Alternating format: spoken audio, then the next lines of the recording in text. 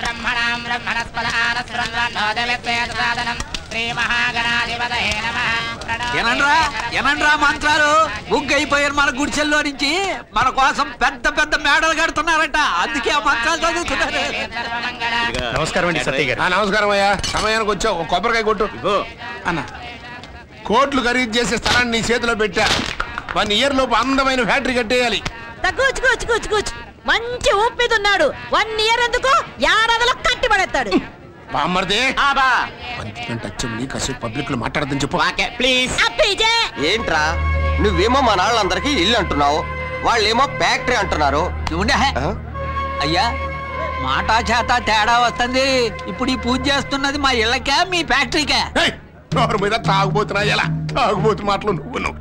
ఎవడనంటే నిజమాను కొట్టాడు. ఈ స్థలంలో మీ కొంపలు కట్టించడమేంట్రా? మాట మారుతారా మీరు ఇక్కడ ఫ్యాక్టరీ కట్టడానికి లేదు. రోజు చాలా ఎక్కువగా మాట్లాడుతున్నావు. మంది ఎక్కువైందా? కాదు. గుండెకి బలం ఎక్కువైంది. ఎమ్మెల్యే కత్తి సత్తయ్య డౌన్ డౌన్ కత్తి సత్తయ్య కత్తి సత్తయ్య కత్తి సత్తయ్య. ఏయ్, ఈ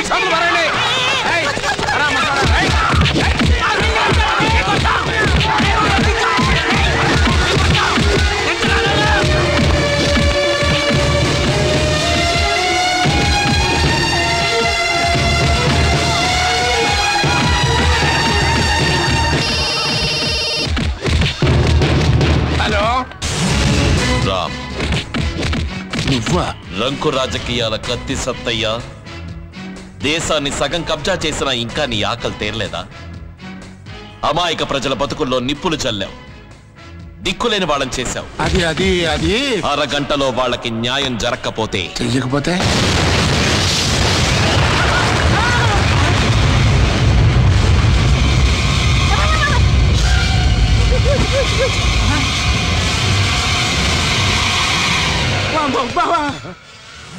అది లేనివాడి కడుపు మంట. ఒక్కసారి నీ పంచ కింద చూడు.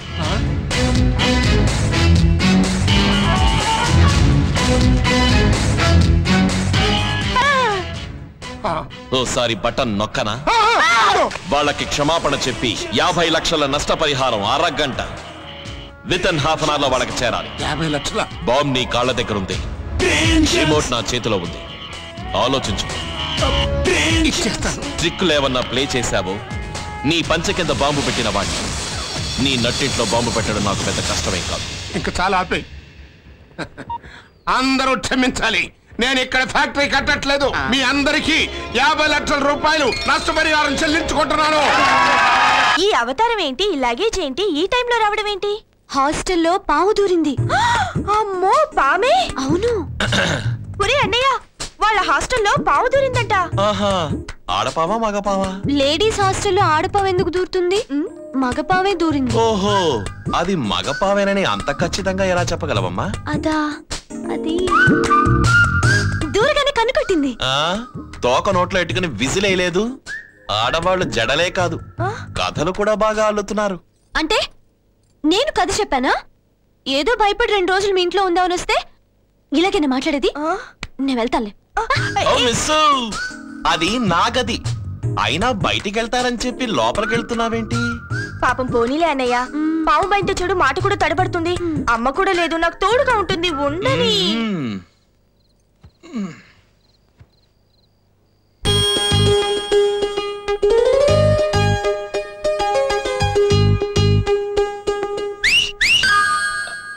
ఏయ్ ఏమైంది? నాకు నిద్రలో ఈల వేయటం అలవాటు. మా తల్లే. ఎంత మంచి అలవాటో? పడకా. సరే.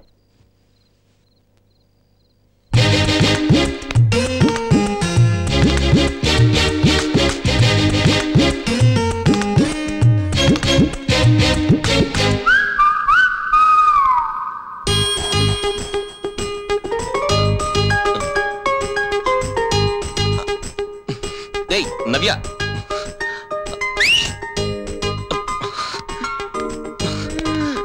ఇదేంట్రా బాబు వచ్చి పక్కన పడుకుంది. ఏయ్ నవ్య. అబ్బా దీని విసిల్కి చెవులు చిల్లులు పడేటట్టున్నాయి. నవ్య నవ్య. ఏ నవ్యాల్. అమ్మా. నేను ఇక్కడికి ఎలా వచ్చాను? పాక్కుంటూ. ఓ నాకు నిద్రలో పాకే అలవాటు ఉంది. చెయ్యేశానా? కాలు కూడా వేశారు మేడం. ఇంకేం చేశాను? నన్ను రేప్ చేసావే! ఒక మగాడి శీలం పాడు చేశానా? బలరాం నాకు ఇవన్నీ నిద్రలో చేయటం అలవాటు. నీ శీలం పాడు చేసి నేను బ్రతకను. నవ్య! నేను చావాల్సిందే. నవ్య! నన్ను చావని. నే- నవ్య! ఏయ్, చావాలి ఏమిటిది? నేను చావాల్సింది ఈ టైప్లోనే నవ్య! చెప్పేది నీకే.